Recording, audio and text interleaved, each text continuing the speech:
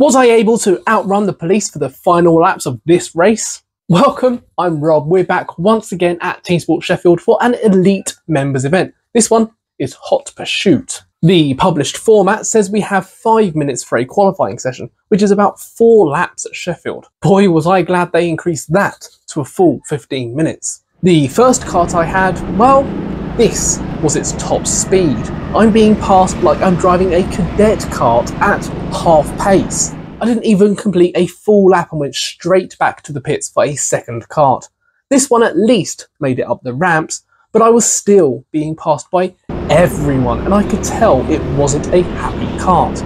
Let's try pitting once more and see if it really is third time's a charm.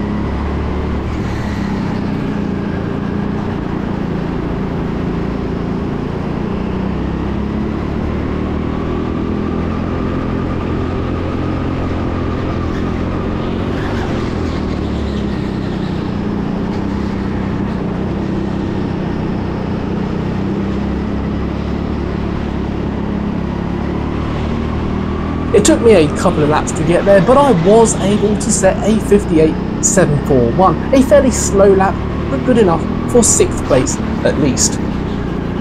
So on to the race. Oh, the race. It's an hour long, the longest race I've taken part in, and to make it harder for the final 30 minutes, a fast staff member will be driving the fastest cart as well. If a driver is passed by the police cart, they are eliminated from the race. So let's set up the grid, and here is where I make my first mistake. I line myself up on the grid box for 7th place, and I don't realise for a while that I've got it wrong. When Silky spots it, I wave to say it's okay, as it was my mistake, so I'll start from 7th instead, and we'll just wait for those lights to go green.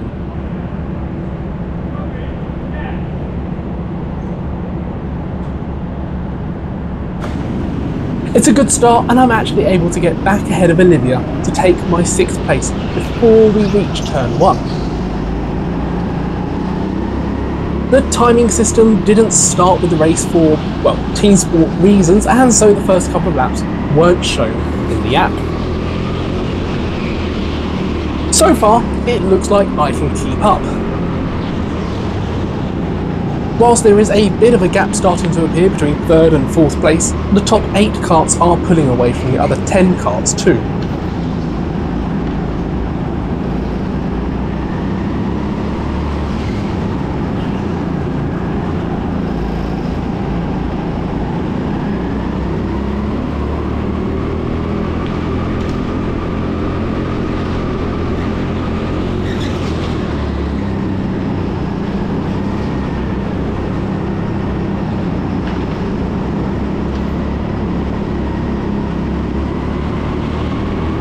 The timing system started here, so here comes 60 minutes of racing.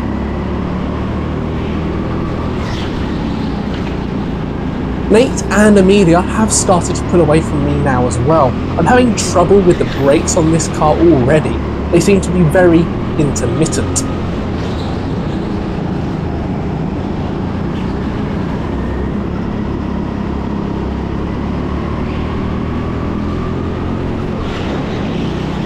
After a few laps though, I've started to get a feel for the brakes and start closing back up to Amelia.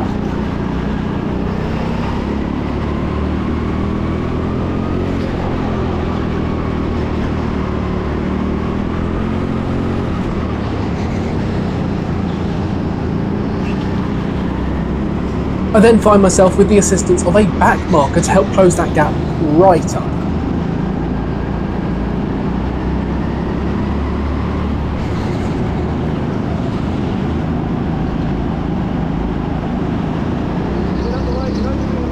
I'm wave past at the top and I keep Amelia in my sights.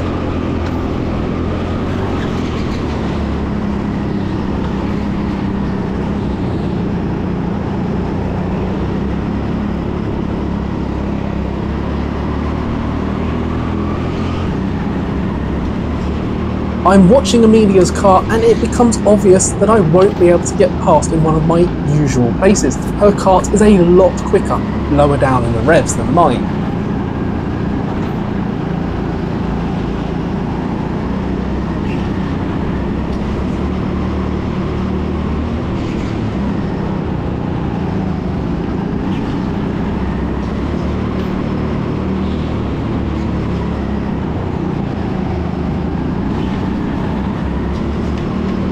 Having seen the same gap being left on the previous four laps, I knew if I could just get myself close enough, I could make the move here.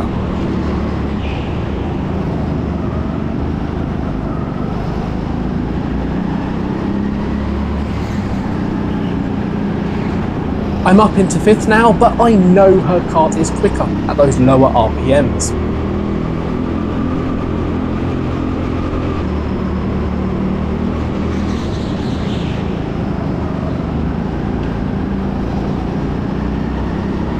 Take a semi-defensive line around the lap and slowly start to pull out a bit of a gap.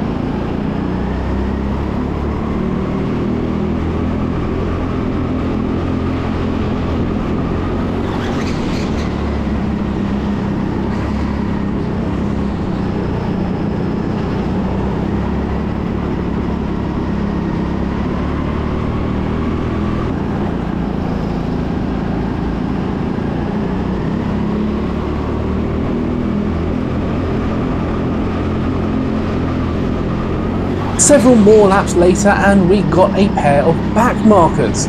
I've watched Nate in fourth place make his way through with a little bit of trouble and I'm now trying to work out how I'll do it.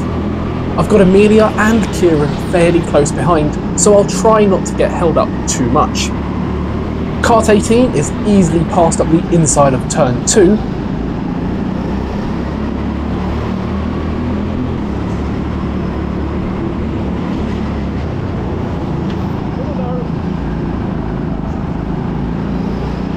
Darren in car 20 didn't want to make it easy, and I get held up by a few corners.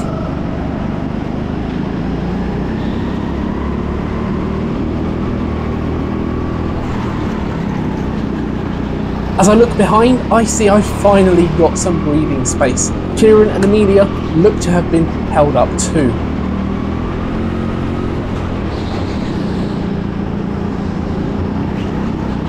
Kieran is now catching up fast, so I give him a quick hand gesture to let him know I won't be making it easy for him.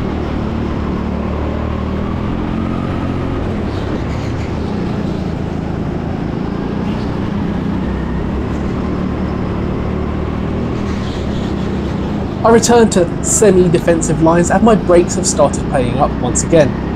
Sometimes they get a long pedal, whereas other times they just lock up. They're also sticking on, slightly going over the bumps.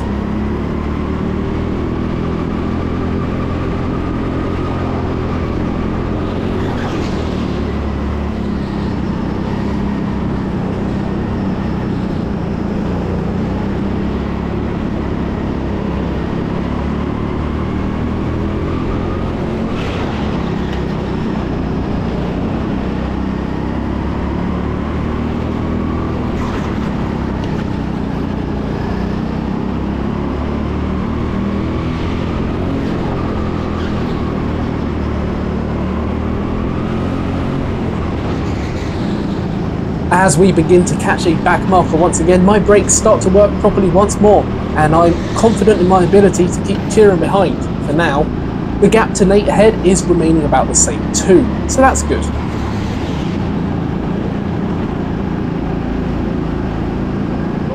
The back marker does signal me around the outside, and Kieran follows around as well.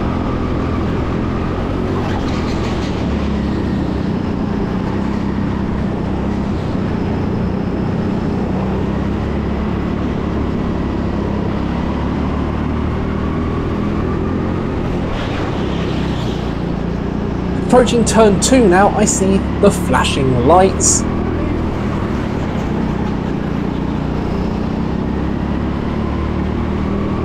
And the board is shown at turn 3. The police have been called. Kieran is still right behind me.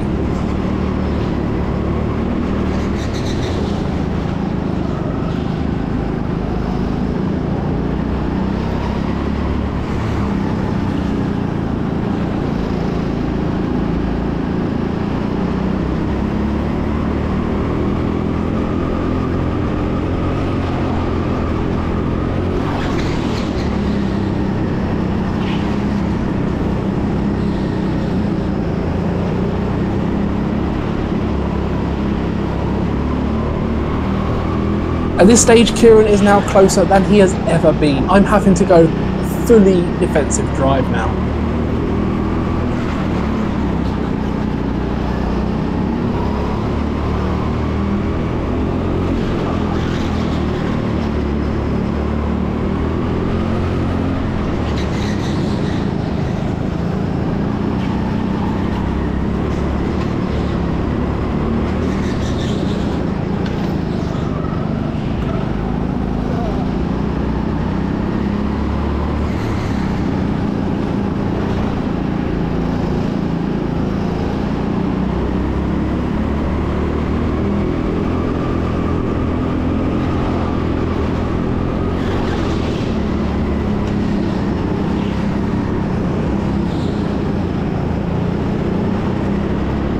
My brakes are playing up again, and I'm having to brake early into some corners. Kieran hits the back of me at turn 1 as a result of my early braking.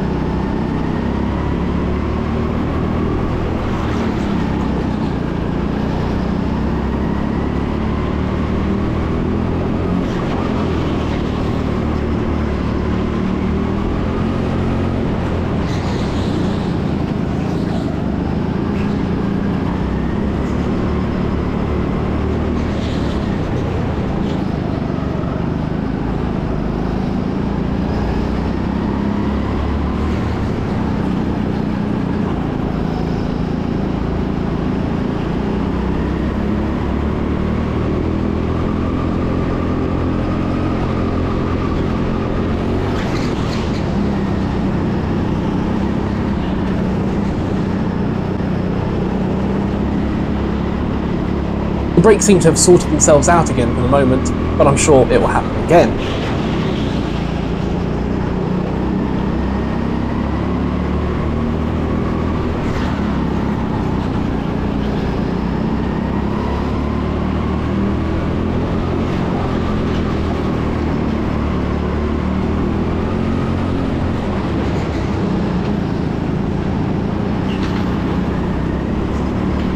I'm catching a back marker, so I'm hoping I get past at a place where Kieran can't follow me.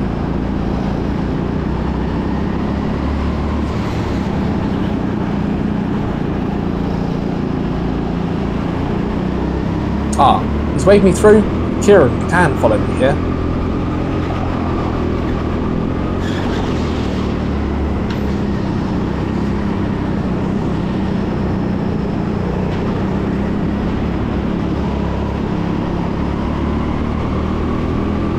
And with that I set my fastest lap of the race. I'm still well off the pace we usually expect at this time of year.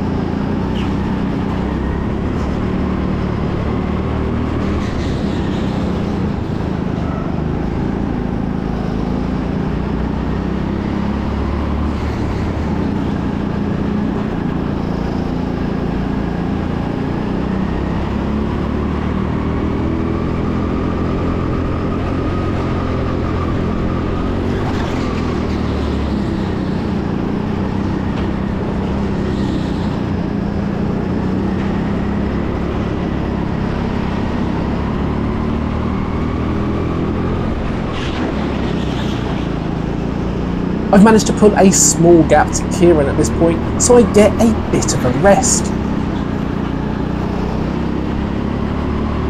Uh-oh, that's the police car going into turn one, so he's about 15 seconds behind us now.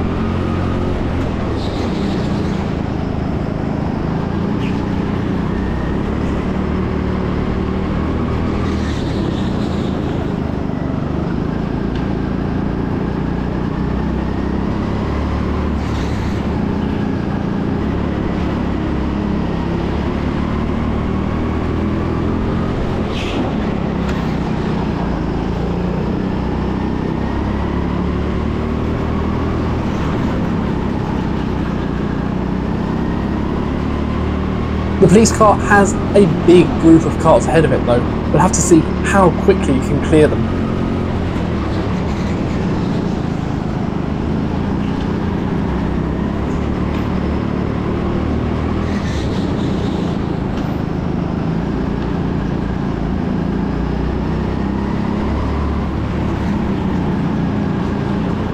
I get caught out by Darren's lack of pace up the ramp and give him quite a big hit once we reach the top.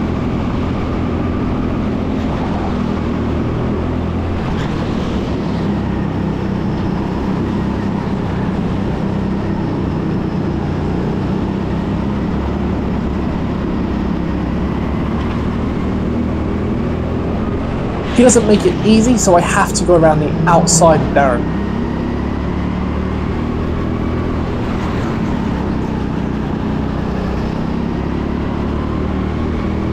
And the police car is still stuck in that group.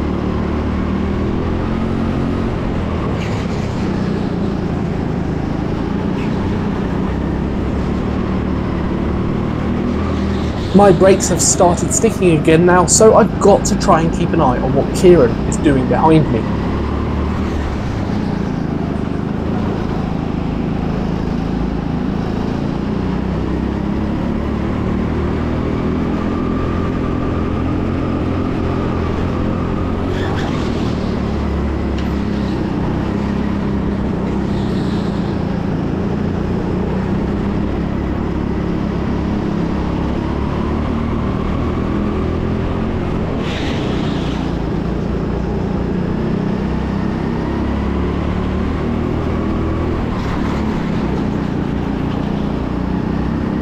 I've lost track of the police car, unsure where it is at the moment. I know where Kieran is though, he's right on my bumper.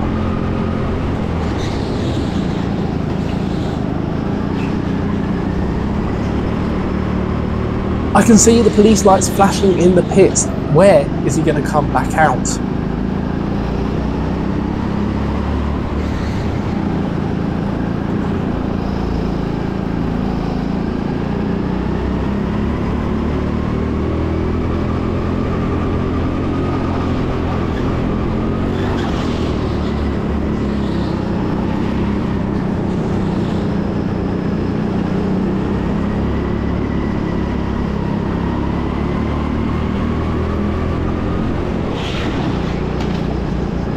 I see the lights on the roof. It's coming for us.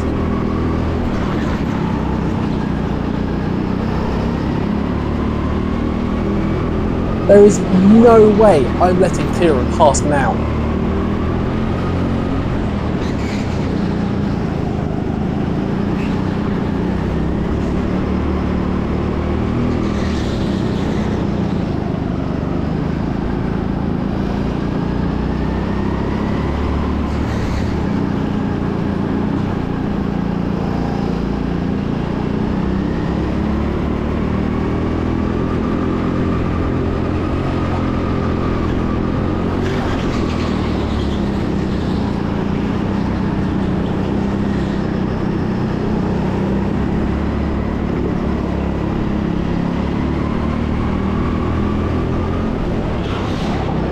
The police car is all over the back of Kieran, and Kieran is all over the back of me. We've got 10 laps left. Can either of us hold on?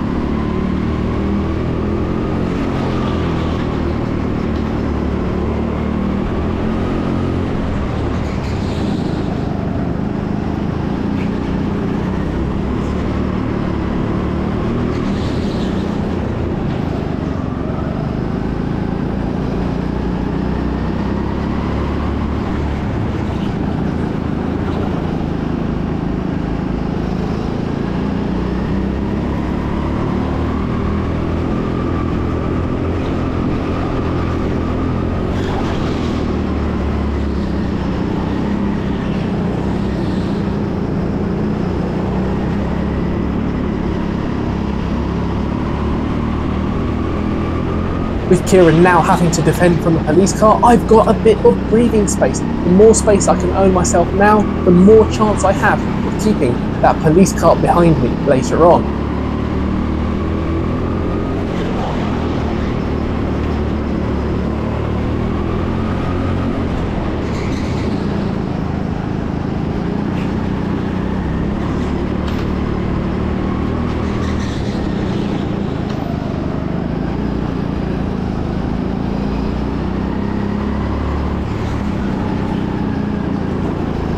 I glance behind coming up the ramp, and Kieran is still holding on for now.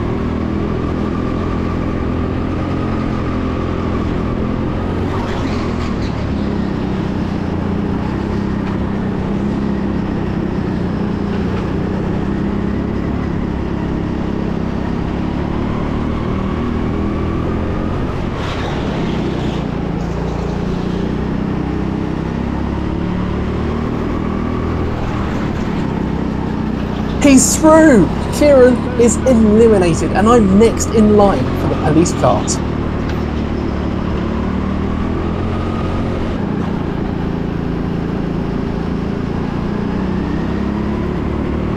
There's six laps left to go. Can I hold on? Will I make it to the end of the race? Can I hold off the fastest car to the fleet for six whole laps? Find out next week on Rob Goes Racing. I'm kidding. I'm kidding. I won't commentate through this, but I do apologise for all the looking around. I just really needed to know where Elliot was. I could have done with rigging up a rear facing camera too for you guys. But here we go.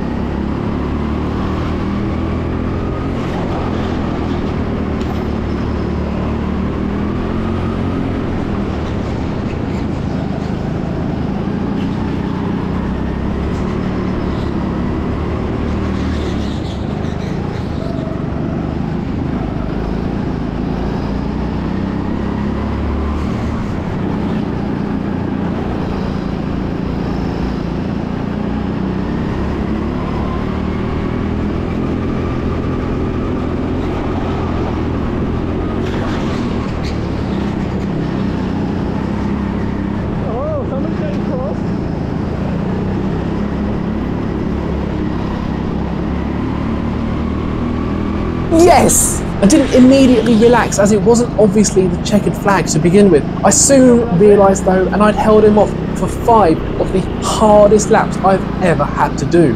Whilst Elliott was able to get partially in front at one point, he was on the outside and unable to make the move stick. He needed to get his whole cart in front of me, a challenge he was unable to complete in time. I'll give a big shout out to Elliott for his driving behind me. I really, really enjoyed the battle. A cart discrepancy of at least a second meant it wasn't going to be an easy job. My oh. back and arms were already hurting from keeping Kieran behind me for however many laps before.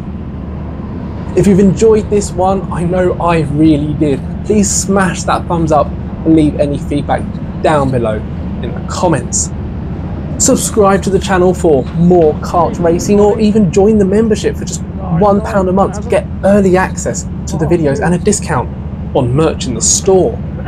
Until next time though, cheers.